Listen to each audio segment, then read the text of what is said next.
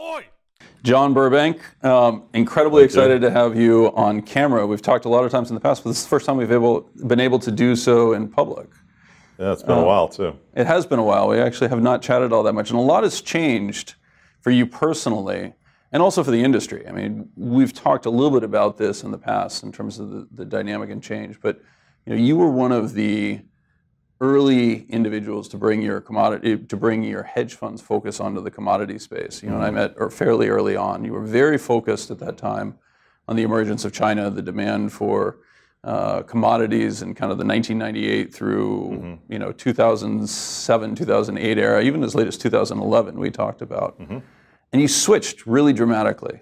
Um, and I, i'd just be interested to understand what the thought process was that brought that to your attention and then caused you to switch a little bit maybe you could talk with us about that So what I've what I learned with markets is that um, you know price is um, could be misleading or could be telling, and you got to figure out um, know, which it is. And in 2011, after being invested for 10 years in in ener- 10 years in energy and um, eight years in mining, um, gold. I've been invested in for nine years.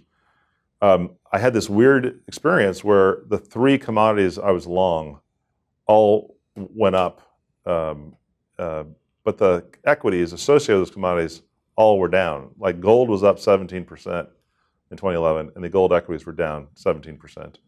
Just didn't make any sense. And the top, I remember, was I think Osama bin Laden uh, uh, was killed, I believe. Um, and I also remember reading like a wine spectator. I think the top in Bordeaux prices was April 2011. Um, but what happened was um, there was a top in sort of things associated with growth, and I guess you could say there was a risk that was removed.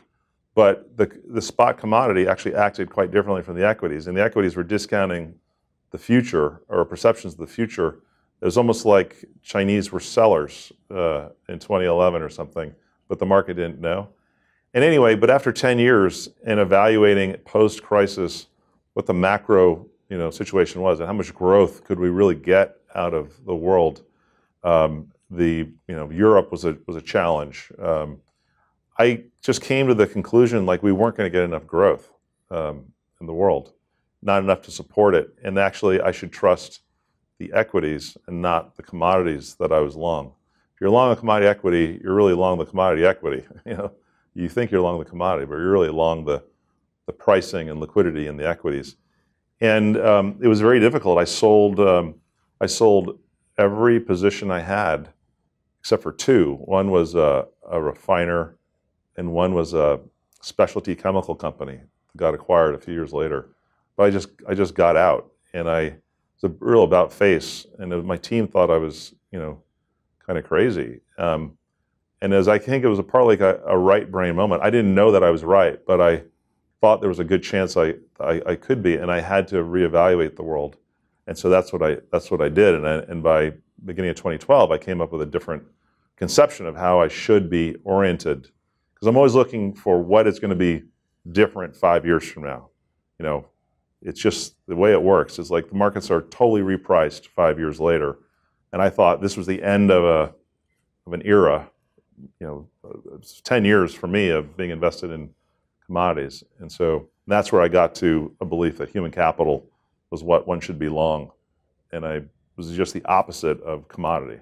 It's actually, I mean, it's it, it's difficult to convey to people how hard that is for a professional investor, particularly somebody who had the the um, industry footprint uh, as yourself, right? I mean, your clients had heard for years Right. about how commodities were, uh, you know, an underappreciated investment. That you know the dollar was a problem. That China was going to grow to the moon, et cetera. And as you mentioned, your team probably resisted quite quite strongly. You'd probably built a team that had mining experts and very little in the way of human capital. And so that was that's a remarkable change.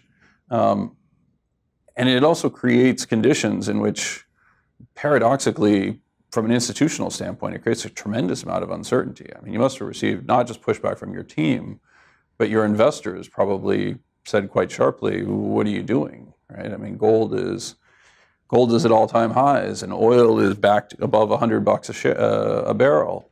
Um, and these stocks are incredibly cheap if you are, think of them as investing in the commodities. I mean, am I incorrect in that assumption, or was that was No, that something you really faced? It's it's true, but this is a left brain and a right brain activity. You know, your right brain is spotting patterns, right, and using intuition and sort of animal senses, and your left brain is logic and you know the lawyer and the accountant and the and uh, I find that um, I think I have a good mix of the two, and I find that um, there are too many people in in in investing in finance who are left brain focused and can miss you know signals.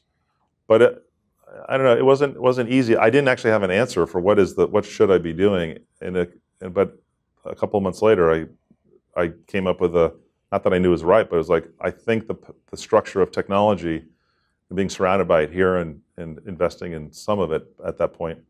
I thought the structure of technology, which is, does not mean revert, right? And if it's like a very fast changing thing um, with a lot of nonlinear outcomes. I thought the structure of technology was favoring the most, the, the, the highest quality human capital, which is essentially the opposite of commodity. You know, the opposite of of lowest cost, you know, available commodity. And and I I I, I by by thinking about that and being around it here, and knowing that the cost of creating technology was was just getting cheaper and cheaper, um, I came to conception that maybe the surprise is how valuable, um, how much more valuable um, the the best the A students in the class is what I said. That really you should just be belong the A students in the class and short the rest of the class. It doesn't matter. Whereas commodities, you know, you're looking for that, you know, something needed that has a very low cost and is you know cheap to transfer, but doesn't actually require you know tremendous you know ongoing sophistication. Um, and so that was like a set of ideas and thoughts that had sort of evolved and emerged. And then I realized I was by selling, I was you know, making way for it. The biggest problem was that I ran a diverse diverse uh, sectors and had many different teams, and I didn't decide to you know abandon the mining team and abandon the energy team. Um, energy peaked last in you know 2014. But anyway, uh, but I, I do know that markets you know every five years look completely different than they did five years before, and security prices move so much that it's always you know it's this new recognition of change, and I focus on change. That's the that's the thing that you know is dependable, but it happens in different ways in different areas, and it wasn't until 2013, beginning of 2013 that growth really took off. Um, and um, and that's when tech really started to do do better. Um, I'd say it wasn't wasn't so clear that tech was absolutely the thing to do. I think.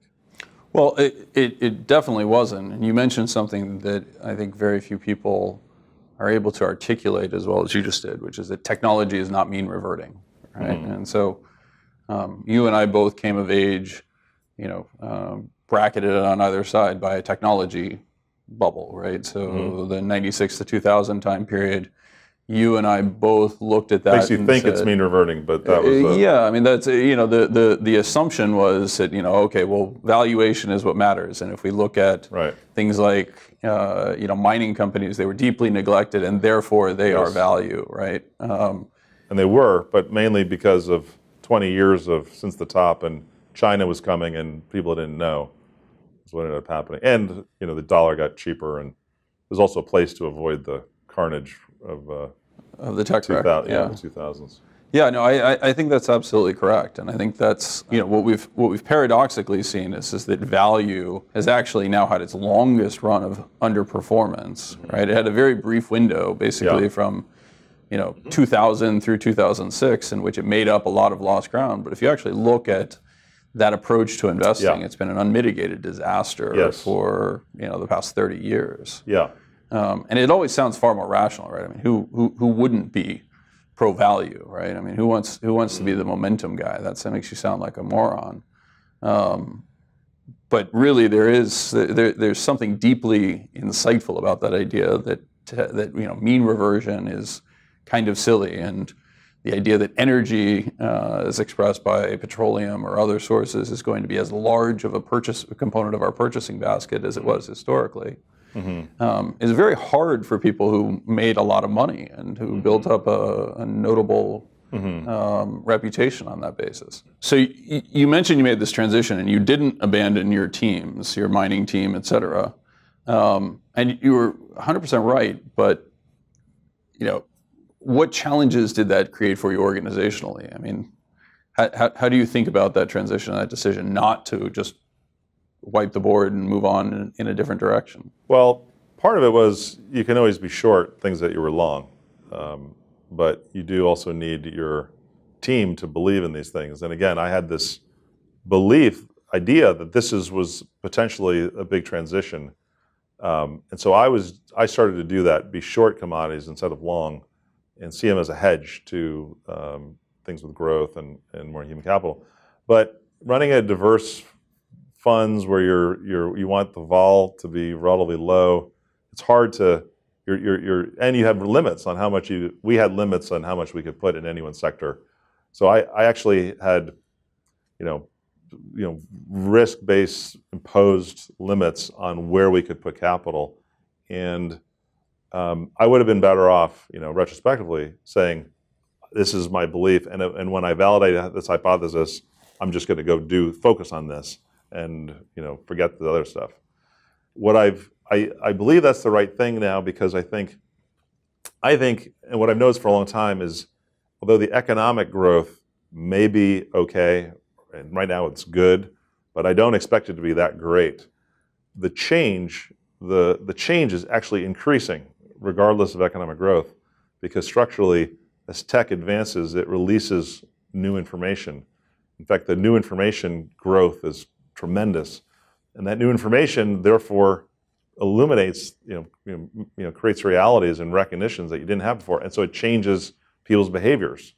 So, I think now I would have been better off saying I'm going to go with when you know when I really got to believe this was the case in 2012.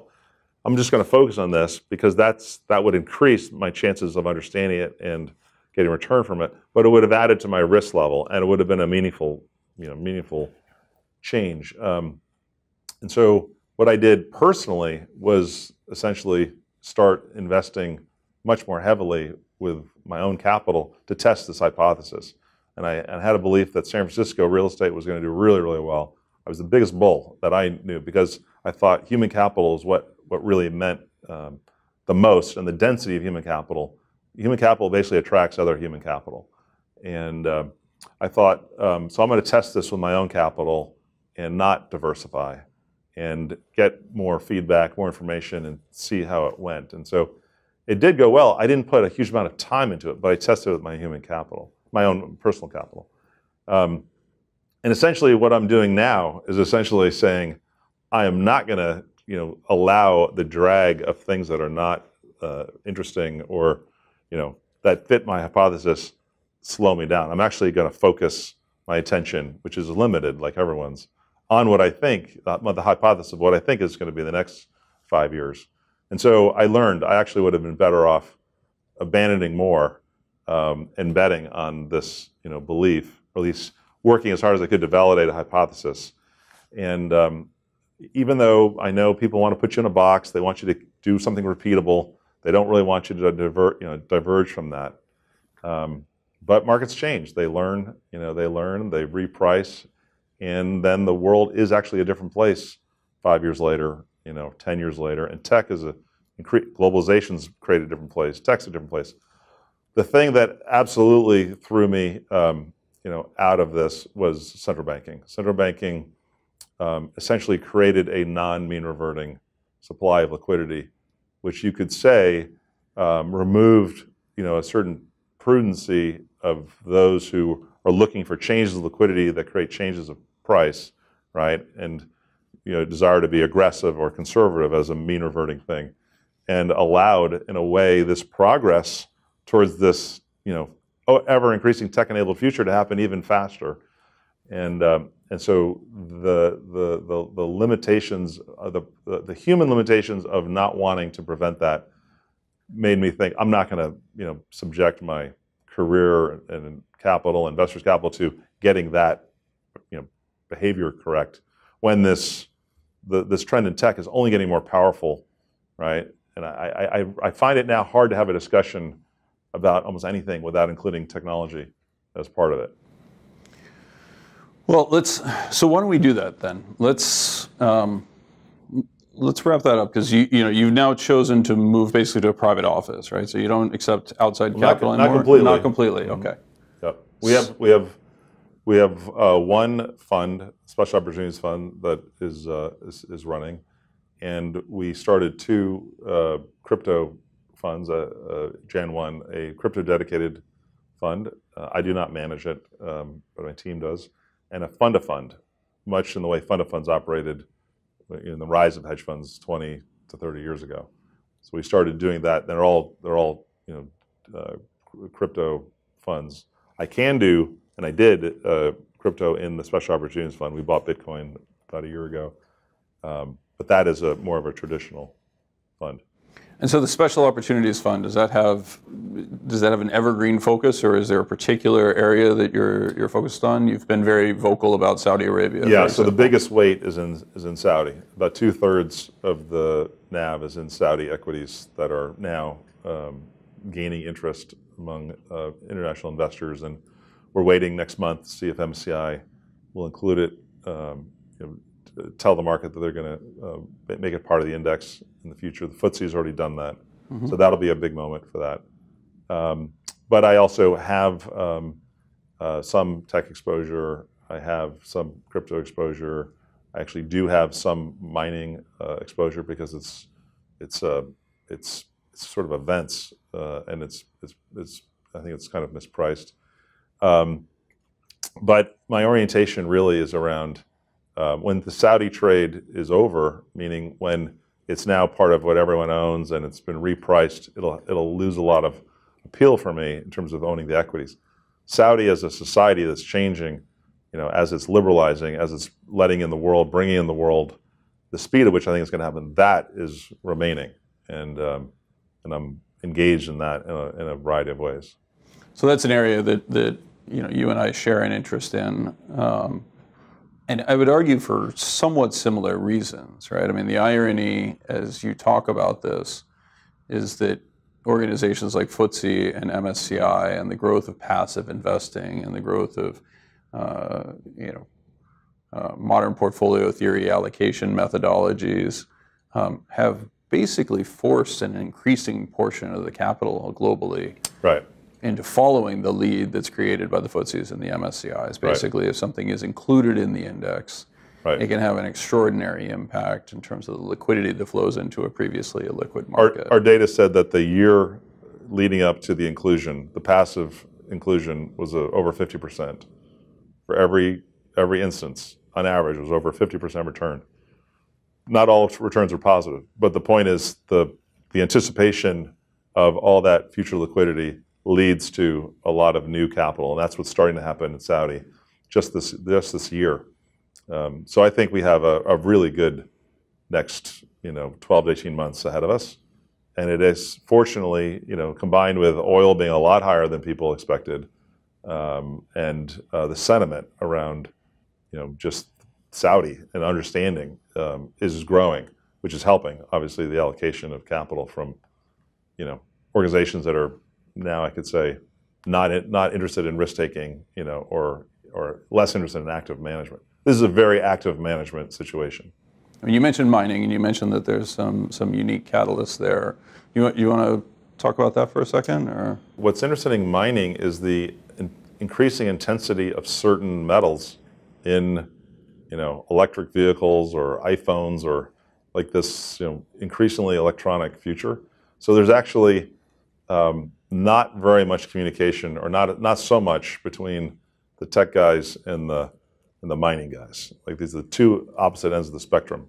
So you take something like cobalt, you know, which is just going up and to the right. Um, you know, there are interesting situations that one can invest in with, you know, high expected returns. Um, even copper, like we think copper, the intensity of copper relative to the supply, the known supply of copper, means copper is actually going to do pretty well. if you if you wait. Um, and it's easier to you know with a capacity constrained industry like mining, it's easier to you know get that down um, when you realize there's a demand driver that's independent somewhat of the economy. Then it makes it you know makes it worth doing. So um, mining's you know mining seems to be an asset class that is losing uh, investors, and so when you you know we can find things where we think it could go up three x or five x if it's priced you know how we think. Um, it's volatile. You have to wait. You know it's a commodity, um, but that adds interest. And I think what I've decided to do there in this fund is to abandon you know trying to be trying to limit risk and to really the, the, the answer, at least for, for me in public managed funds, is to is to size up what I think are superior risk rewards and, and hold them and have a diverse, diverse enough group where I'm okay um, and, and hedged enough, which means I don't really have to be so hedged if I own Saudi and some mining and, and some tech, um, where I don't really care so much what happens to the market every day. And I think that's a, that's a definite way of you know, achieving better returns. But it is embracing more volatility and uh, I've I've left the game of trying to uh, you know out you know create alpha and diminish you know vol you know for you know short duration you know jobs and incentives. That's definitely what I've I've, I've left. Saudi is unusual because no one, very few people own it. Eventually, everyone's going to own it, and it's a predictable you know amount of money that it's going to have to buy all these stocks that that I own, I understand better than the market, I think. So that's like a special case, and it's not really correlated to a whole lot else in the portfolio. So that's that's where that's how I think about it logically now. But the real story, in my opinion, is how technology is affecting the big parts of the economy and the big sectors. That I think is the big. That's my hypothesis for you know five years from now. We look back and say, I can't believe how much technology affected finance. You know, I, I can't believe how much it's affected the auto sector or education or you know construction or like really big parts of the, the, economy that just haven't changed that much. Um, healthcare is going to take longer. Um, healthcare is ultimately the greatest good and will change a lot, but it actually is starting from a, a deeply non-information tech place, in my opinion. The provision of healthcare, so it's going to take longer. So I, I would agree with that, and, and um, I mean, we, you, you talked about the human capital aspect, and you've also talked about commodities. And you identified a few areas of commodities where you remain focused, right? I mean, I think what people broadly, from my perspective, underappreciate about the commodity cycle that we encountered um, was that it was, you know, the conditions were set in place by the lack of investment for the 20 years before that. Right. And so when we closed up the capacity, right, if it, I mean, it's very easily explainable if you look at it in hindsight and say, well, we had significant excess capacity that emerged in the 1970s, early 1980s. Right. Um, and as China emerged as a consumer, that capacity utilization tightened up. Right. And by the time you and I came on the scene in the early 2000s, that capacity was such that we were rapidly drawing down inventories and creating a condition in which you needed to allocate this scarce resource on the basis of price, right? And things like copper or cobalt, um, you highlight the electric vehicle dynamic. I mean, cobalt is primarily used in the cathodes, if I, if I understand the chemistry correctly. And the contribution to an electric vehicle in terms of the price of, of cobalt is immaterial, right? Mm-hmm. So, right. you know, you will choose to steal that cobalt by, from somebody else by raising the price that you're offering for yeah. it, right? And that shows up as profits and future investment in additional mining.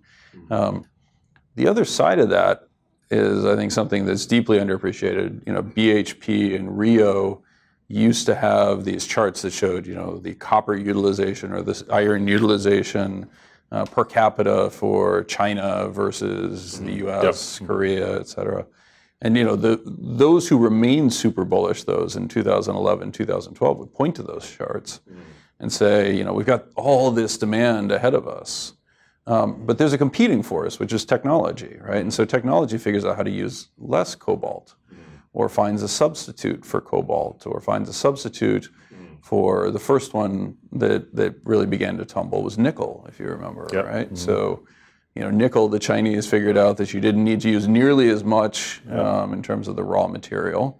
You could create this bastardized thing called NiCroPig. Um, and they lowered the price from $20,000 a ton to, I believe it was like $7,000 a ton, right? So, you know, it's, it's just interesting to see somebody who grasps that the two can be related, right? The commodity is not all about, you know, um, you know, metal bending and caterpillar tractors, et cetera. It's also about this idea that technology is proceeding apace and raising yeah. the value with which those commodities can be used. I always try to understand what is the big, the biggest picture, the most important, you know, macro change. Um, and I, I guess I'd say I believe we're operating on legacy platforms throughout our society that that we got we've gotten used to or have changed incrementally, like in our uh, last 20, 30 years.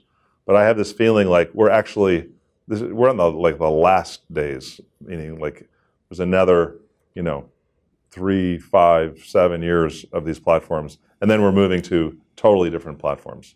It's like a it's like a platform shift in technology, like you know from mainframe to you know client server yeah. to cloud or whatever. You know, it's like right. it's very important, and so this is this is what this is my hypothesis for what is the big shift. It's that now we're ready, like psychologically, and, and, and we've been trained as consumers, like we're ready to actually adopt broadly to change platforms in all these big sectors.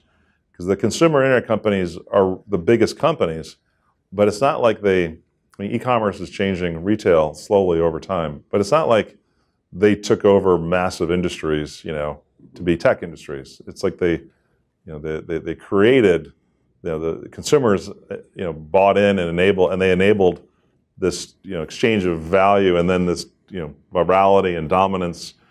But now that the consumer internet companies are the five biggest companies in the world or whatever they are, it's hard for anyone to argue that tech is not essential and, you know, it's, it's, it's, it's the future, but it's those consumer, consumer internet franchises that are those companies. And I believe that that the we're globally ready to now change. That it's it's it, like the risk has been reduced, and so among my in private investing in some of these you know big old sectors that haven't changed very much, um, I'm putting a lot of time into crypto and blockchain as the tech change in finance. And finance is essentially bigger than healthcare, could be measured as being bigger than healthcare as a percent of GDP. And so it's hard for me to not want to put time into that to test this hypothesis there. I do not think crypto is in isolation and, you know, like actually I think crypto is way more believable and understandable than autonomous driving, you know. Like conceptually, the idea that we're not going to drive our car and we're going to be safer is way harder than the idea of digital currency, right? Well, I mean, it's interesting when you talk about crypto and you refer to it as digital currency, right? Because uh, I think that's that's certainly the image that most people have of crypto, right? Is Bitcoin, mm-hmm. right? Which which has certainly proven to be a profitable investment um, for many mm-hmm. who have been involved with Ethereum, even more so. Yep. I had somebody explain crypto to me in a really interesting concept, which is that it creates the potential for scarcity in digital assets.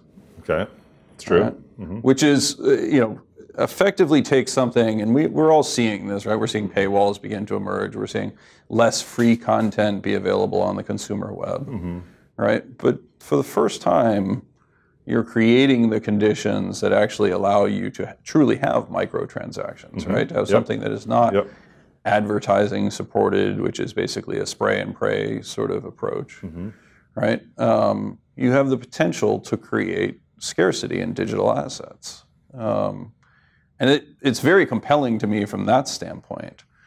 The idea that it's like currencies well, strikes me as a little difficult. It's, it's going to be a lot of different things, I guess. Um, I think instead of arguing about you know what it is or what isn't, I'm saying I think the willingness to change to a new platform is underrated. Mm-hmm. So what I'm saying is, if you believe, if you basically um, most of these industries involve some sort of regulatory agreement and, and, a, and a corporate initiative. So, so um, what's fascinating me, instead of arguing about the technical merits or it is or it isn't, whatever, what's fascinating me as a global investor, but based here in a tech center for the last you know 25 years, is the parallel development of crypto around the world and the regulatory, like the what I see is the recognition on a regulatory basis. It's multi-jurisdictional and essentially competitive, meaning you know everyone's trying to figure it out together. And even though the, there's such a limited exposure in terms of assets or utility, the awareness is extraordinary. I don't know what to compare it to. So, to me, there's this, and it's still really early and it's young, and so it's it's not mature. It, it hasn't, it can't actually do what you know it's going to be able to do. But it's that cultural shift to a to being willing and interested to adopt. Um, and you're seeing it. Obviously, you saw it initially with individuals, fringe, and you know, retail and whatever but on a re- it's now a re- it's a regulatory must do everywhere in the world. The buy-in from corporates, the increasing buy-in around the world is in, is extraordinary, and it's so it's such immature technology. So it tells me that we're a different like we're at a different stage culturally and globally simultaneously. So you know it's just I'm I'm betting that you know you want to leave. You do not want to own value. You know you you we're leaving these systems. Uh, we're going to, you know, um, technology is only taking on more and more, and yet it's both less accessible and more accessible. I mean, it's less accessible. It's harder to understand. It's hard to understand, you know, innovative technology, you know, as a analytically, but it's being it's more accessible because it's affecting more of your life, and you're accepting it as affecting more of your life which is why this autonomous driving, you know, as we move to these different stages, autonomous driving, it's just that would have been unthinkable, right? Just a few years ago. It's still hard to believe, but you know we're going there. Um, and so I guess I think this is this is on a nonlinear path of only more change is happening sooner. And so as a as a macro thinker, not a technologist, I find the power of that and the externalities of that and the unintended consequences of that really, you know, fascinating. And it makes me um, want to put a lot of my attention into it to see what that means and see what it, you know, affects other things. I could say that, that as an individual, a consumer has limited ability to actually do these, you know, be involved in these new platforms in a meaningful way. Um, I, you know, know with genomics, you can you go to 23andMe and a few other companies and get some genomic data on, on your own but you can't get your doctor to treat you that way. They're not, it's not ready to do that. Um, so you can participate, but it's of limited value. But with crypto, I have this hypothesis that people are able to buy it, to touch it, to look at it, to see, you know, participate in it. And it's not only for that in itself, it's, it's like the most accessible thing of, of sort of technology affecting big industries that I think it's liquid, it's you know, it's uh, people can can learn from it. I'd also say because it's liquid, I think there's more information that's being passed around the world in this sector than any, anything else. It makes sense because instead of it being like private companies, like in a certain region like Silicon Valley, where it's hard for the rest of the world to see, like it's hard for me to see into China without actually, you know, meaning to be involved in China because it's liquid, I think there's a lot of information being passed around about what works and what doesn't. And these new organisms are being introduced into this ecosystem where you get to see, you know, and, and, and what works and what doesn't. And it's changing as I'm spending time in it. I'm seeing it change. And I'm, you know, I'm just getting ready for these kinds of changes to be, you know, throughout our economy. The, the desire to change is growing, is, is what I'm saying. And, um, and I'm finding it harder to invest, you know, fully in the stock market because the stock market actually doesn't get, you know, so many of those companies, and you know, the the uh, you know, just betting on losers is is hard in a central banking, you know, ever growing central bank driven world, um, and it's hard to own, you know. The crypto is actually a way of participating in leading edge, you know, bleeding edge technology, and so I'm doing that. And to to do it for itself, to understand it, as well as to as part of a broader participation in you know these platform shifts. It's interesting hearing you talk about crypto and doing it um, both eloquently and passionately. Um, so I, am a Silicon Valley native. Actually, I grew up here when it was still called Santa Clara Valley, um, and had a front row seat to the early, uh, you know, home computer environment. I wouldn't even call it the PC movement, right? Where you had Trash 80s and VIC 20s and you know Sinclair 4K machines, et cetera. Um, and before that, even the hobbyists, the Steve Jobs and the and the Steve Wozniaks uh, of the world.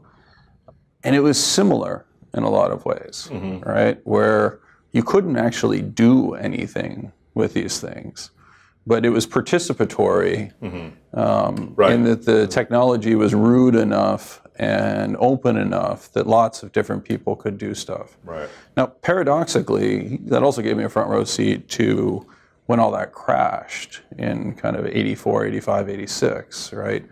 Which occurred alongside the introduction of the IBM PC, mm-hmm. right? Which you you know mm-hmm. most of the world looks at that as if that was you know the nascent founding, and and you know mm-hmm. that's where the PC revolution started. But ironically, that was where a wave broke and crashed as ah. well, right? There were lots of competing technologies and lots of competing ideas that suddenly were ossified, and it was like this is the standard, and this is how it goes. Do you see Think how much riskier it was to invest in stuff back then.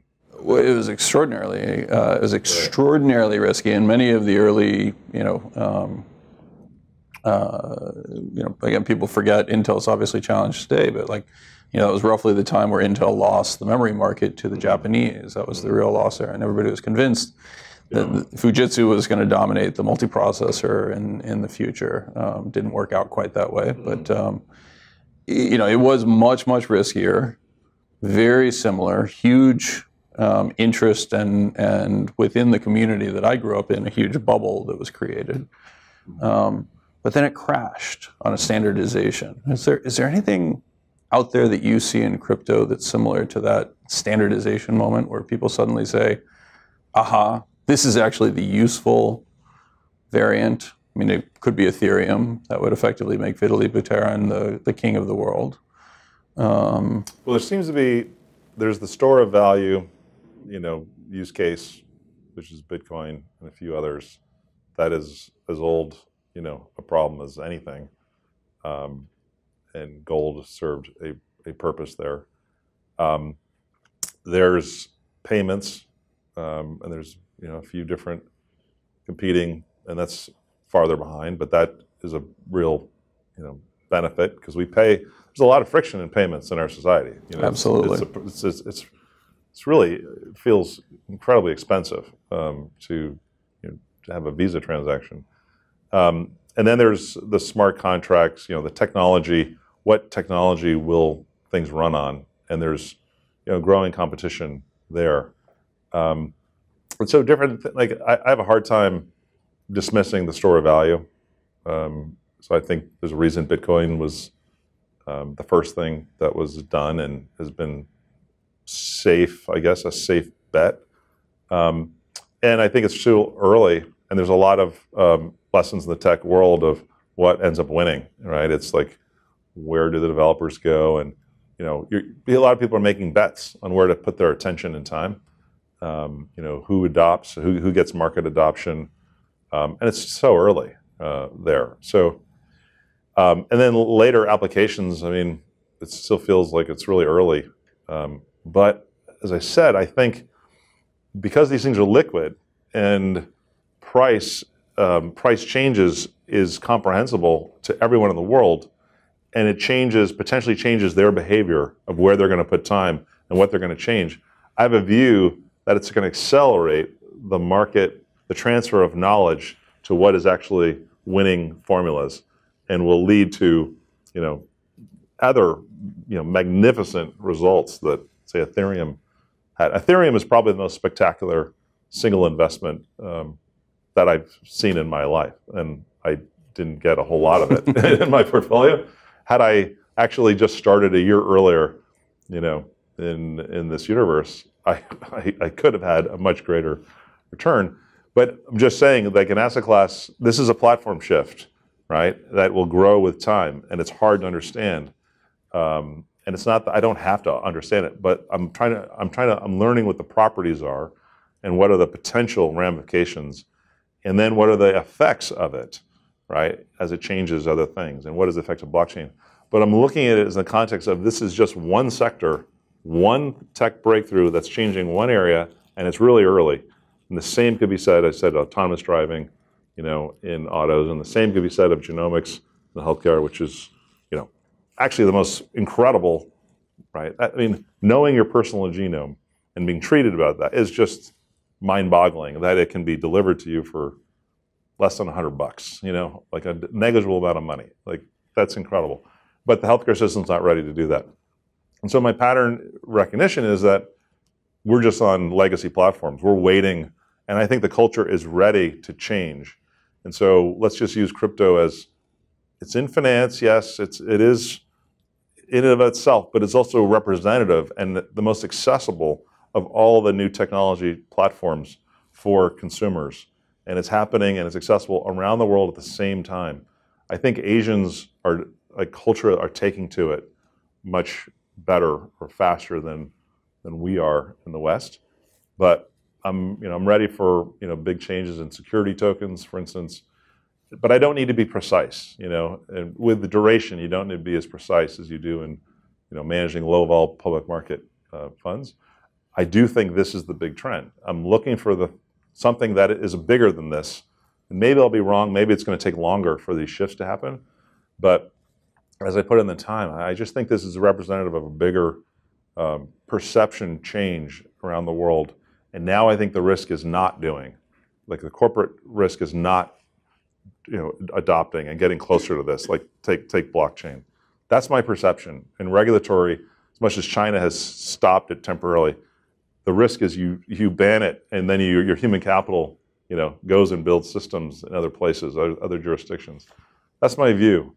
Um, so that's a pretty big thing, you know. I would agree with that, and I, again, you mentioned before that you know the the you know the right brain is is is uh, you know a pattern recognition uh, tool, and the left brain is you know working on something very very differently, right? Um, one of the challenges I think that people have when you have this type of innovation, and I certainly struggle with it, is that you want to draw the historical analogy. Yeah. Right. So you know when you yes. hear smart contracts, you're like, oh, okay, they're going to replace lawyers in the negotiation of your uh, of your mortgage, or they're going to replace lawyers in the negotiation of large scale M and A. Well, you know the the irony is is that large scale M and A is it has solutions that are incredibly expensive, but they're as, as a fraction of the total mm-hmm. purchase price, it's relatively yep. small, right? Mm-hmm. That's true.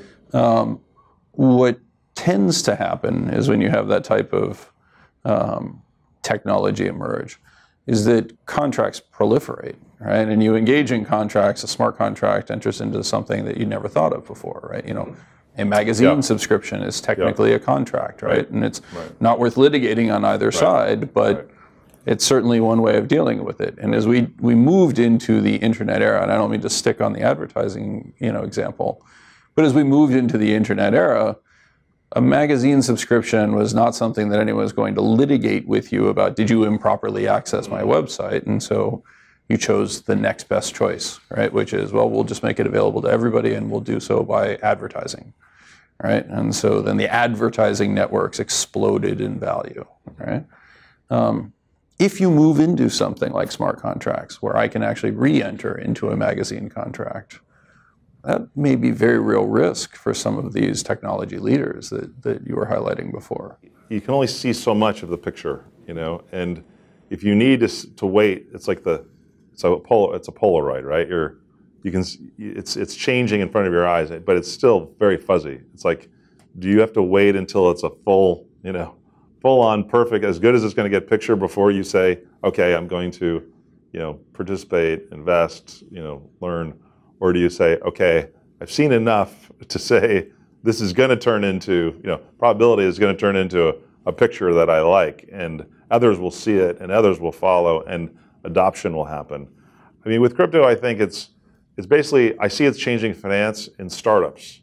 You know, I see public companies looking at it. I see all these um, potential securities that could be security tokens that wouldn't be public companies, but have you know benefits to create um, holders of, of, of, these. And there's a reason why you know it should be liquid, more liquid than it is. I guess I'd say that I've seen enough. I'm putting time in to say I think this will turn into, this will develop into something much more meaningful. And by seeing what it's going to become before the market is, you know, 101 on investing, right? It's saying, oh my God, you should invest in this company, this asset class, this place, this, this whatever. And again, I'm, but I'm using this as partly as a, as the most liquid um, uh, and the most, um, I think, globally interesting right now. Uh, it's like the vanguard of what's happening in, in every old sector. Finance is a big one. And so I'm looking at it like um, it's not only for what it is and, and what it'll become, it's the adoption is also a, is a cultural, like that, that rate is also helping me see the rate of change in many other things. Uh, those are the things that aren't very liquid and, and, and may involve more regulatory or, or more gatekeepers like in, like in healthcare. So it'll, it's starting in finance, it'll end in commerce for a lot of this. And it'll be very, you know, very volatile and there'll be lots of losers, but there'll also be, I think, more enormous winners in the asset class than any, anywhere else, I think. And I think if I'm right that the being liquid and being globally developed at the same time, I think it's going to compress the time it takes to actually get from, you know, oh my gosh, what is this to, oh, that's the solution for, you know, some, you know, vertical need or horizontal need or whatever. So that gives you, if that's correct, then it actually the chance of appreciation is higher here than in most other um, asset classes, even though it's already risen. A lot of it's already risen so much, and it's hard to keep up with. It's very hard. It's, it's just it's, it's, so much to keep up with. But I, by putting time into it, I feel like I'm putting a time into the main change happening in society, and I'm expecting five years from now, we'll be surprised how much we were willing to shift our behavior because others were willing to shift their behavior because we've had the iPhone for 11 years and social media for whatever 15 years or whatever it's been longer. Um, and I think we all were trained. We were like socialized to, you know, we, we, we can't imagine not having our phones. We can't imagine not having our, you know, platforms that we depend on. And now I think we're, as in, in groups, going to make the corporates change and the regulatory bodies change. And I just think we just weren't ready to change this way. So maybe I'm going to be wrong by a few years, but maybe not. Maybe so. If you think that, like, how do you? What do you do? You know, and and what is the best way to take advantage of it? Is my question.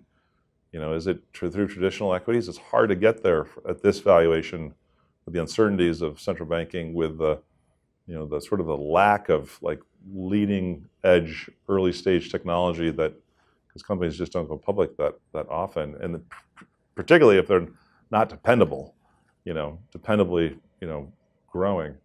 So anyway, it's this led me to want to spend a lot more time in what are fringe markets, you know, like crypto, or in private markets like uh, like venture.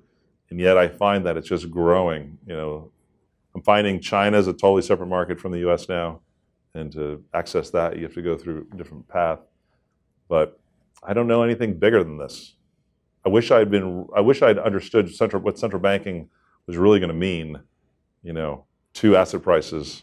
I had a hypothesis that could happen, but I just didn't bet on it happening. This, I'm I'm betting my you know attention and and, uh, and professional time and personal capital, and and if I'm right, then it'll grow into an institutional, you know, thing. And everything we're doing at Passport on the crypto side is an institutional it's like we're trying to be the most institutional, sophisticated partner to the ecosystem, but also, you know, investor for institutions when they ever de- decide to invest. Right now, family offices want to invest, and almost no one else does. So, and we'll see. We'll see. I think it's going to change faster, but I'm. This is me learning. You know, me learning for my what I think is important, but I'm not like an expert evaluator of technology either you mentioned this this interesting dichotomy that exists, right? Where paradoxically, markets are at all-time highs, and yet, as you point out, many of the platforms on which valuations are built or on which business models are built, you think are going to change with relative rapidity, right? So, if we're looking at a five to six years, right, the the competitive advantage period for many of these corporations. Um, that enjoy very robust valuations are, are, are very much at risk. Um, how do you, you know, segue for a second. How do you how do you reconcile that? And secondly, you know, you've offered um, a very clear articulation of the challenges that you had in making the transition within the public markets, and you're much more interested, and you've been um, extraordinarily successful on the private side. Um, what do you think is the core challenge that the traditional hedge fund manager is facing, or that the industry is faced in terms of alpha generation? You know, what, why do you think it's changing? Why, why do you think it's been so difficult? Well, I like to say that uh, you know I, I, want to invest in things that have never happened before, and I look for you know the, the things that haven't happened before because that's not going to be priced correctly. And I guess what wasn't priced correctly was the was the you know absolute continuation you know in growth of of, of liquidity, um, and I'd say also the um, you've had the uh, you know the at least for the S and P, uh, you know tech is taking on more and more and leading tech companies, which are you know not very sensitive uh, to the economy, I'd say. Um, and also, I guess I if I if I had to use a positive, a non like you know rigged system view, I'd say that that um, if tech is if globalization, but then really tech is generating more and more information, right? That's usable. You could say that is actually being pulled into corporates, right, in the in, in the U.S. and developed world, increasingly to their benefit in one way or another, making them more efficient.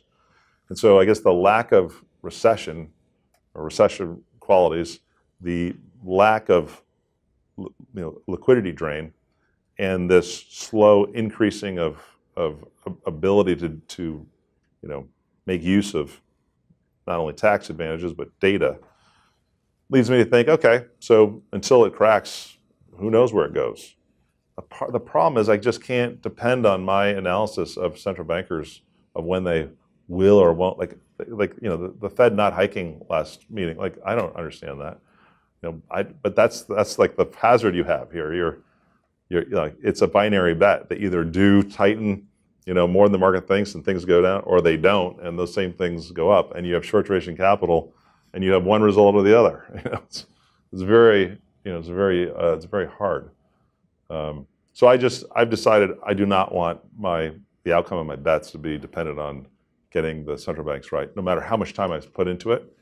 And yes, it may be the tightening here is going to lead to, you know, 20, 25% lower, but I'm not counting on that. I'm really not. I do think that the increasing amounts of data and the the availability of opportunity and the growth of tech, higher margin businesses is just going to keep going. Um, but I'm also captivated by these these platforms that these these platform shifts that you can't access through public equities, and I want to be closer to that. I want to understand them, and if I put all my time into trading public equities, I'm I'm starving, you know, myself of understanding these other things. So I've decided, I decided um, that it is changing. And I can understand some reasons, but some maybe I can't. And I'm just, I'm going to back away from that and adopt other means. Ultimately, you know, a high return on capital with a longer duration is what you seek as an investor. So I'm seeking those things where I can get that and get that transfer of information to my head to understand, oh, this is the way it's going. Maybe I do other things with that. But uh, attention is a big is a big concern of mine. You know, we all have the same amount of attention, basically, and so the inertia of maintain you get paid for doing jobs and things that are you know seem to be losing value in financial markets. And so I think taking them to zero is part of the process to you know grow your attention in the places that are uncertain but are going to be you know in the future very impactful. That's what I'm doing with crypto. I'm not saying I know you know, I can out analyze these things. I'm saying I think this is the this is like the the liquid tip of a massive platform shift that we're that we're doing. Yet it's really early, and so I don't want to challenge it too much. Just an analogy I use is, you know, you you don't evaluate kids on what they can do right now. You're evaluating, you know, early technologies and, and, and, and young people with what you think their capabilities are later right? You know, they're, they're, or athletes or whatever. It's relative to the norm and relative to expectations. And so I'd say, um, you know, with, with the, the, crypto and blockchain, it's just so sudden that our attention is there, and it's too, too early to actually accomplish the things that you know that you think they can. Just like young people can't accomplish what they can accomplish when they're 25 or 35. And so, you know, but I, but if you could, you definitely want to bet on you know the best soccer player and bet on the best, you know, math. mathlete, you know, or the best whatever, the best piano player. So I'm looking at this as like, uh, but this is the, this human capital is also taking society, a society that's willing to be taken to places it didn't think it was going to go. And so it's hard to, it's hard for me to consider a bigger trend than that as an investor. Areas that you and I very deeply agree are in the primacy of human capital and the importance of that. And one of the things I would point out um, that I think is just a fascinating little tidbit um, is right about the time that you're talking about your epiphany in 2011 um, is the date actually that that uh, many um, much of the research in China indicates actually that their labor force began to contract. Oh, that's right. Right, and so it's it's a very intuitive. Obviously, you weren't looking at that data, um, but for me, that was certainly something I was monitoring quite closely in that the minute you exhausted that huge excess labor supply, mm. suddenly the value of human capital began to rise. Mm. Right? And you saw this, I would argue, across the world. Mm-hmm. It was camouflaged in a lot of ways. You had models like Uber, et cetera, that were brought in when human capital was in surplus in 2008. Um, but things began to change rapidly. And mm-hmm. today you're seeing the lowest unemployment rates we've seen in a long time mm-hmm. uh, across the developed world right? And those who can efficiently utilize human capital are really in a much stronger position than those who are struggling. i am also seeing that um, other parts of America are now, you know, they're learning, right? They're changing, they're adopting more of the what's made, you know, Silicon Valley, you know, do or the West Coast do so well. I mean, like the attention is on what has worked and how things are are, are changing. I'm just I'm just prepared for five years from now, we'll look back and say, oh my God, like, can you believe you didn't invest or you didn't do, you know, these things that were emerging? I don't want to, I, I want to be involved in those things, even though there's uncertainties, because I want to learn like these essential truths of, oh gosh, this is what's going to happen. And therefore, I can, you know, put capital again in that asset class, that company, that place, that whatever.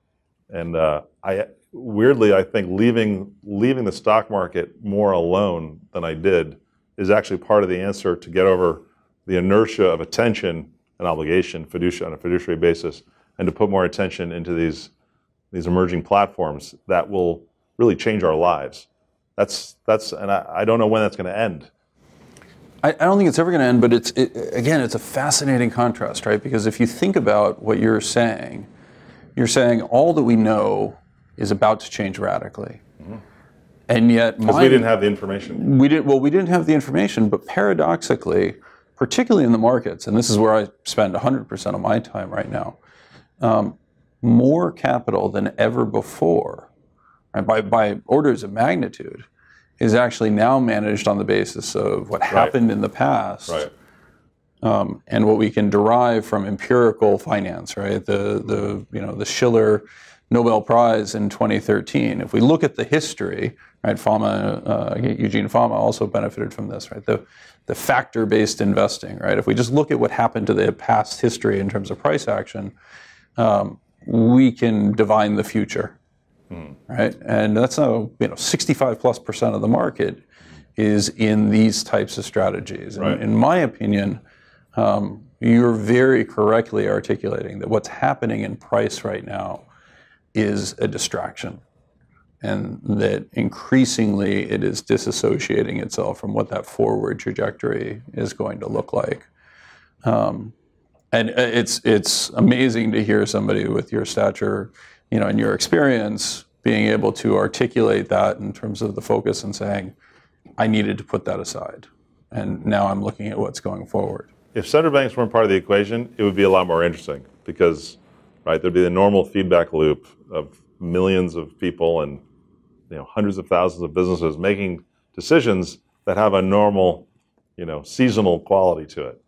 It's felt like we, you know, we're living in a very balmy. we're, we're not in a four-season world now in the markets. We're in a we're in San Diego. You know, we're it's like it's they're just keeping the temperature and you know uh, pretty good. And they I think it's because they realize that they can't create inflation as easily as they thought, and that was just not in their models. And so they're they're finding, oh my God, I can put a lot more liquidity and compensate for this, and it's not actually causing bad things. I know there's some inflation, and I don't think it's going to be, you know, last a long time. I could be wrong demographically. I don't think, think that's the case, and and technology is a deflationary force, but I just think that's not the biggest thing. Like we're we're in this era. We're not in a previous era. We're not in you know, we're not in the Warren Buffett time of buying consumer stocks. You know, we're not in the beginning of the internet era. We're not in the crisis era. You know, we're not even five years ago when before consumer internet franchises were, you know, repriced. We're in this era.